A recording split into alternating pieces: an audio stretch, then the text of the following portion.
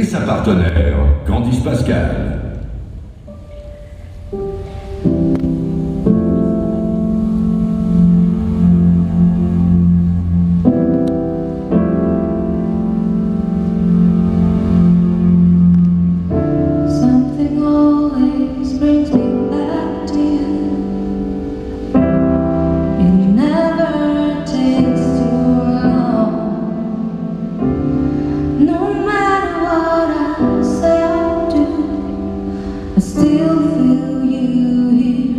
the moment I